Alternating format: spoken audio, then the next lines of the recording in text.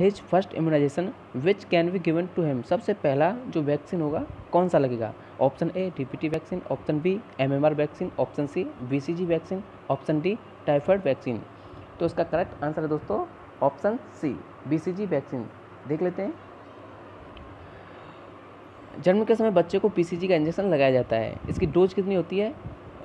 जन्म के समय इसकी डोज होती है zero point zero five M और अगर फोर वीक यानी कि एक मंथ का अगर बच्चा हो जाता है, जिसके बीसीजी नहीं लगा हो तो ज़ीरो पॉइंट वन एम लगाते हैं। ठीक है? चलिए इससे रिलेटेड कुछ क्वेश्चन देख लेते हैं। देखिए दोस्तों, मैं आपको अच्छे से एक्सप्लेन करूँगा और एक क्वेश्चन के साथ साथ कई सारे क्वेश्चन बताऊँगा, जिससे आपका मज़ा और ज़्यादा आए। वैक्सीन टाइप ये कैसी वैक्सीन है? लाइव एटेनुटेड वैक्सीन ठीक है? दो तरह की वैक्सीन होती हैं लाइव और किल्ड ठीक है?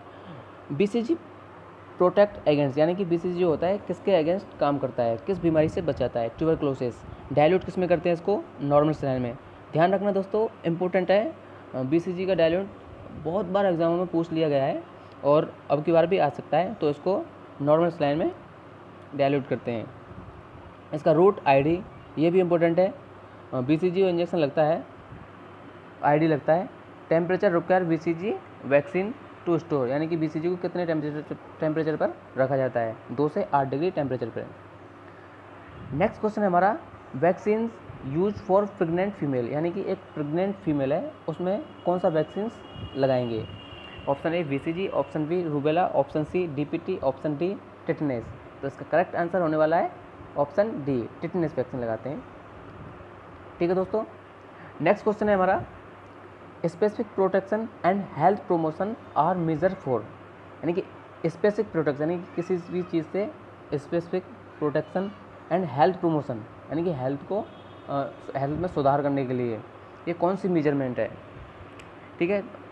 यहाँ प्रिवेंशन दी गई है इनमें से कौन सी प्रिवेंशन है ये? Option A primary prevention option B secondary prevention option C tertiary prevention option D primordial prevention इसका करेक्ट आंसर है दोस्तों ऑप्शन ए प्राइमरी प्रिवेंशन देखिए, मैं आपको बता दूँ प्रिवेंशन से रिलेटेड बहुत सारे क्वेश्चन एग्जामों में पूछे जाते हैं। तो मेनली चार तरह की प्रिवेंशंस होती हैं। तो यहाँ पे देख लेते हैं। Health promotion and specific protection यानी कि immunisation are considered in primary prevention यानी कि अगर आपको हेल्थ प्रमोशन या स्पेसिफिक प्रोटेक्शन से रिलेटेड कोई क्वेश्चन आता है तो आपको सीधा प्राइमरी प्रिवेंशन पे क्लिक कर देना है। सेकेंडरी प्रिवेंशन क्या होती है? सेकेंडरी प्रिवेंशन में क्या होता है? अर्ली डायग्नोसिस यानी कि किसी भी डिज़ीज़ का हम डायग्नोस करते हैं, वो सेकेंडरी प्रिवेंशन में आता है। ठीक है?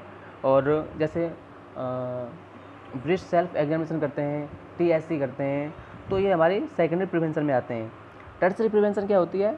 डिसेबिलिटी लिमिटेशन एंड रिहेबिलिटेशन यानी कि अगर कोई व्यक्ति अपंग हो जाता है तो उसको वापस उसी चीज़ में लाने की कोशिश करते हैं। जैसे जयपुर फुट है, इसको टर्सरी प्रिवेंशन में रखा गया है। ठीक है? Next question the best test to detect iron deficiency in community community में सबसे अच्छा सबसे बढ़िया टेस्ट कौन सा है? आयरन को देखने के लिए।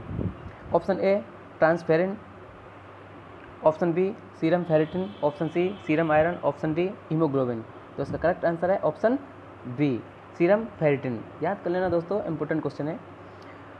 इसका एक्सप्लेनेशन है सीरम फेरिटिन यह बॉडी में साइज़ ऑफ़ आयरन स्टोर को रिफ्लेक्ट करता है। समझ गए? यह आयरन स्टोर का मोस्ट यूजफुल इंडिकेटर है। Next question safe disposal of mercury is यानी कि मर्करी का जो safe disposal of mercuries mercury को हम कैसे सेफ़ uh, डिस्कार्ड करेंगे यानी कि डिस्पोजल करेंगे अच्छे से मेंटेन करेंगे।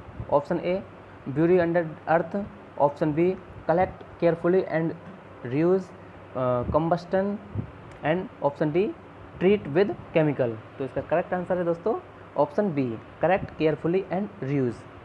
इसको केयर अच्छे तरीके से केयरफुली और कलेक्ट करते हैं और बाद में यूज़ कर लेते हैं। मरकरी है एक shiny silver white toxic material है मेटेरियल सॉरी, मेटल है जो रूम टेम्परेचर पर लिक्विड फॉर्म में पाया जाता है। अपने रूम टेम्परेचर पे नॉर्मली लिक्विड फॉर्म पाया जाता है। आपको पता है मरकरी बीपी इंस्ट्रूमेंट में भी यूज़ किया जाता है और अपना थर्मामीटर में भी है। मर्करी केयरफुली कलेक्ट कर सेफली रिसाइकल के द्वारा इसको रीयूज करते हैं। Next question question number six for the client who is using oral contraceptive ठीक है, कोई क्लाइंट है जो ओरल कॉन्ट्रासेप्टिव पिल्स ले रहा है। The nurse inform that the client about the need to take the pills at the same time nurse उससे बोल रही है कि आपको मेडिसिन सेम टाइम पर लेनी है। सेम टाइम से प्रत्येक दिन लेनी है। To accomplish which of the following किस चीज़ की पूर्ति के लिए यानी किस चीज़ को पूरा करने के लिए बोल रही है? Option A decrease the incidence of nausea option B maintain hormonal level option C reuse reduce side effect option D prevent drug interactions तो इसका करेक्ट आंसर होगा दोस्तों option B maintain hormonal levels इसमें क्या होता है? Regular timely ingestion of oral contraceptive is necessary to maintain hormone level of the drug यानी कि अगर हम सही टाइम पे मेडिसिन लेते हैं डेली सही टाइम पे, उसी टाइम पे मेडिसिन लेते हैं, उससे क्या है? हार्मोन का मेंटेनेंस होता है. हार्मोन क्या करते हैं? Level to level of the drug to suppress the action of hypothalamus and anterior pituitary जो कि हाइपोथैलेमस और एंटी पिट्यूटरी ग्लैंड को सप्रेस करते हैं। और उससे क्या होता है? An appropriate secretion of F S H और एल एच ठीक है? उससे F S H follicle stimulating hormone और ल्यूटिनाइजिंग हार्मोन का अच्छे तरीके से सिक्रेशन नहीं हो पाता। इसलिए फॉलिकल मैच्योर नहीं हो पाते और ओवुलेशन नहीं होता है। और प्रेगनेंसी को भी प्रिवेंट करता है। उसी से प्रेगनेंसी प्रिवेंट हो जाती है। Next question case finding in R N T C P is based on सबसे पहले मैं आपको बता दूँ R N revise national tuberculosis control programme ये टीवी से टीवी कंट्रोल का प्रोग्राम है।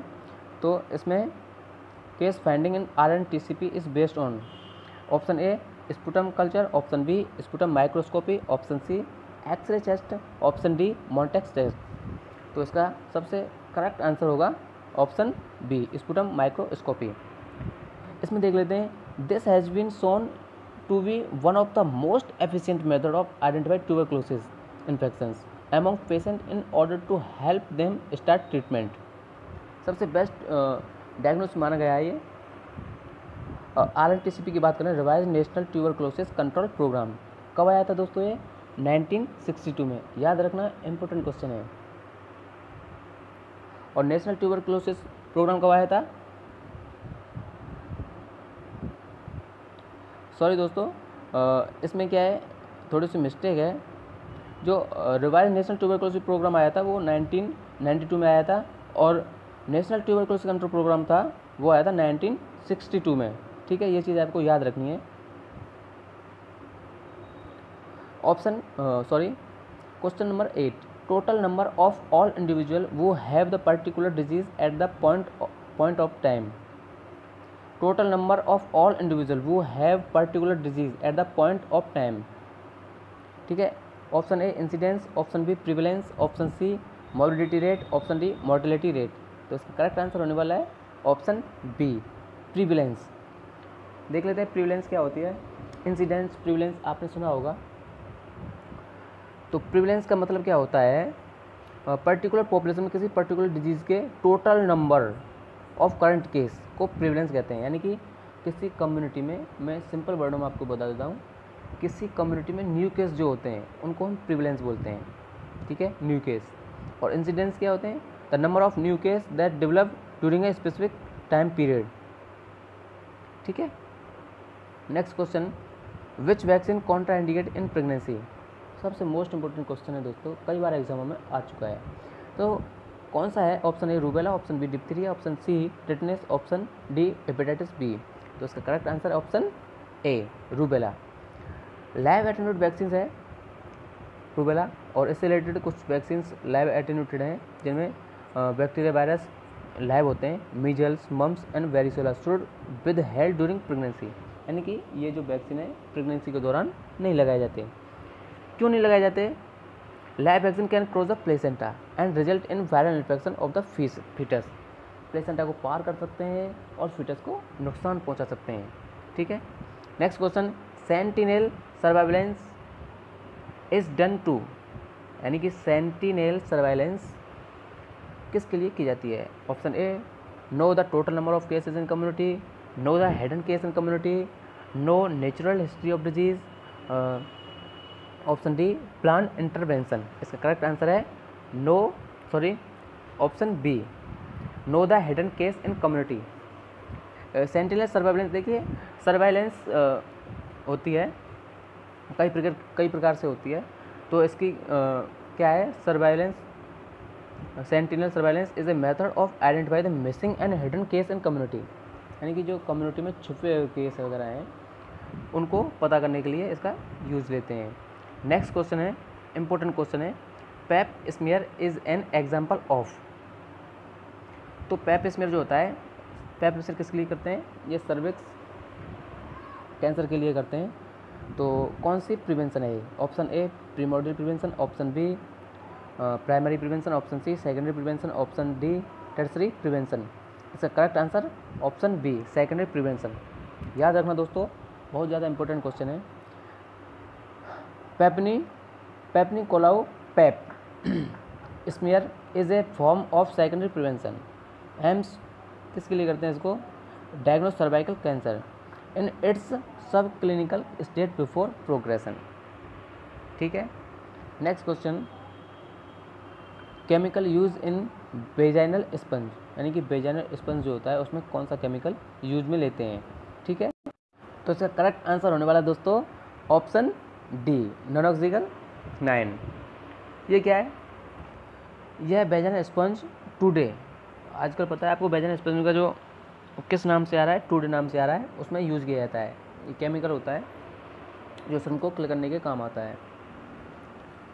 Next question identify the national health programme duplicate by the symbol यानी कि जो सिंबल आपको दिख रहा है, ये कौन से प्रोग्राम का है? किस प्रोग्राम से रिलेटेड है? Option A R C H option B I D S P option C N P C B option D N B B D C P तो इसका करेक्ट आंसर है दोस्तों, option C N P C B national programme for control of blindness कब launch हुआ था ये? 1976 ये भी इंपॉर्टेंट क्वेश्चन है दोस्तों। आपको कम्युनिटी से रिलेटेड जितने भी प्रोग्राम हैं, वो सब आपको याद कर लेने हैं, क्योंकि इनके जो कब लॉन्च हुए बहुत ही ज़्यादा इम्पोर्टेंट है। इसलिए इनको आप याद कर लेना। Preservative added in DPT vaccine यानी कि डीपीटी वैक्सीन में क्या मिलाते हैं?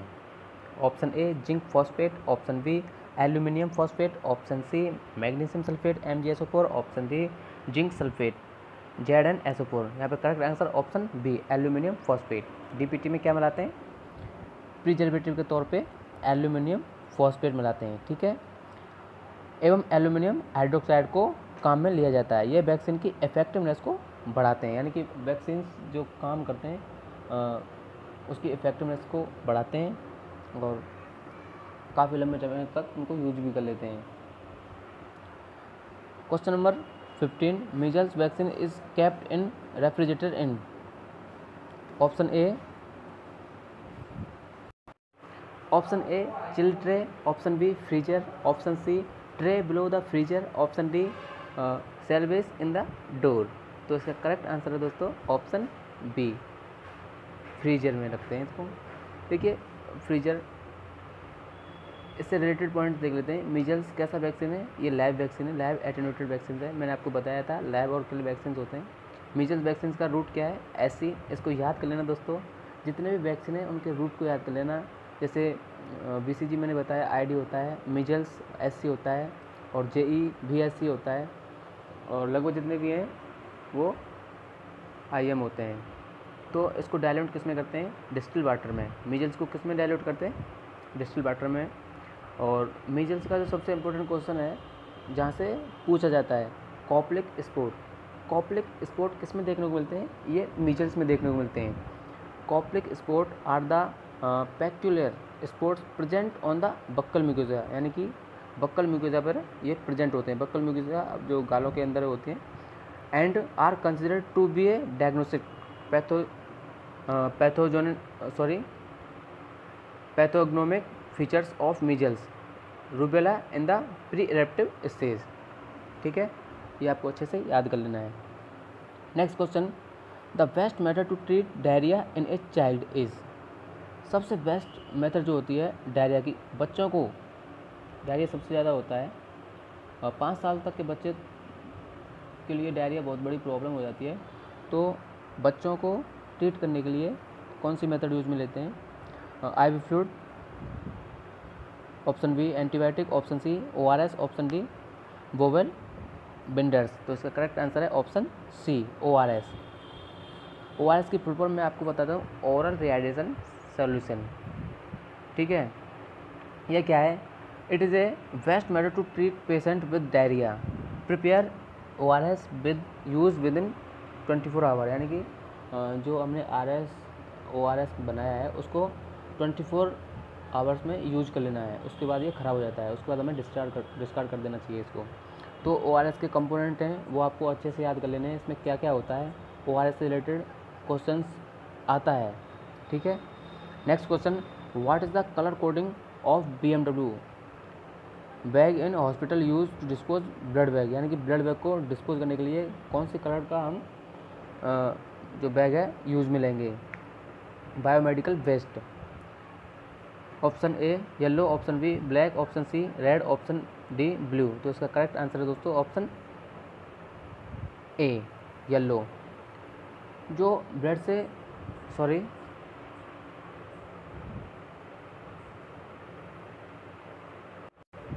हाँ दोस्तों ब्लड से जितनी भी रिलेटेड चीज़ें होती हैं, वो कौन से बैग में जाती हैं? येलो बैग में जाती हैं। ये चीज़ आपको याद कर लेनी है।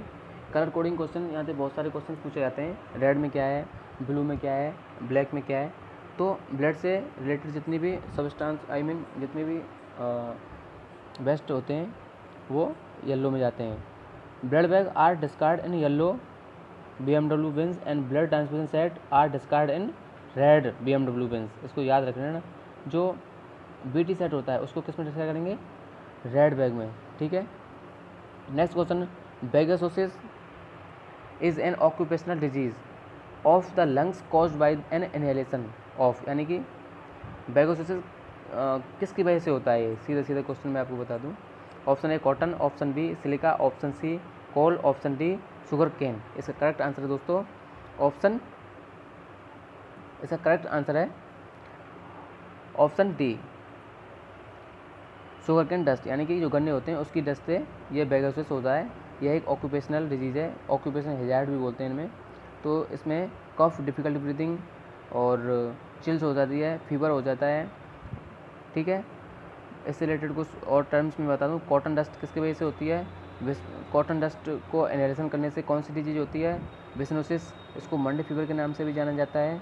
कोल डस्ट, यानी कि कोयले की खान में काम करने वाले व्यक्ति होते हैं, उनमें क्या होती है? एंथ्रेकोसिस होती है और सिलिका। सिलिकॉन जो होते हैं, उनकी डस्ट को एनहेलेट एनालिसन करने से सिलिकोसिस होता है। नेक्स्ट क्वेश्चन है, best method of screening for early detection of carcinoma breast. I am women age above चालीस ईयर, यानी चालीस ईयर की जो लेडी होती है, उनमें बेस्ट मेथड जो होती है कार्सिनोमा को डिटेक्ट करने के लिए कौन सी होती है? Option A regular x ray option B self examination, option C mammography, option D regular biopsies. तो उसका करेक्ट आंसर है option C mammography. Breast examination के लिए मेमोग्राफी करते हैं। ठीक है? मेमोग्राफी क्या होती है? यह मुख्यतः चालीस साल की जो लेडीज़ होती हैं, उनके लिए एडवाइस की जाती है। मेमोग्राफी रिपोर्ट नॉर्मल आती है तो वो मैन को प्रतिवर्ष, यानी कि हर साल स्क्रीनिंग एडवाइस करते हैं। अगर कोई महिला है उसने मेमोग्राफी कराई है तो उसको हर साल मेमोग्राफी कराने की एडवाइस देते हैं, अगर वो चालीस साल की है तो। Next question, speed of communicable disease across a large region country large region country to country referred ये तो बहुत ही इंपॉर्टेंट क्वेश्चन है, आप सब इससे परिचित होंगे, जो अपना, एक अपना क्या है कोरोना है, ये पैंडेमिक डिज़ीज़ है, जो देश विदेश हर जगह फैला हुआ है। तो यहाँ पे पूछा है, जो बड़े स्केल पे बीमारी फैल रही है, वो क्या है? Option A endemic option B epidemic option C episodic option D pandemic तो इसका करेक्ट आंसर है दोस्तों पेंडेमिक क्या है pandemic pandemic spread of disease among larger population of the world ठीक है? वर्ल्ड वाइड होती है ये. जैसे COVID nineteen is a pandemic ठीक है दोस्तों? तो कैसा लगा हमारा वीडियो अगर अच्छा लगा हो, दोस्तों प्लीज़ लाइक करें शेयर करें अपने दोस्तों के साथ और चैनल को सब्सक्राइब करना ना भूलें। ठीक है? थैंक यू तब तक आप पढ़िए। मिलते हैं अगली वीडियो के साथ।